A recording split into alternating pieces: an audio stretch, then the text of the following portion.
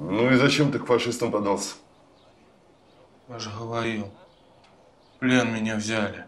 Контузило. Взяли. А может, сам сдался? Я же не один. Что ж, по-вашему, все тоже сами сдавались? Сын Сталина тоже сам сдался? Молчать. Полную версию смотрите бесплатно на megogo.net.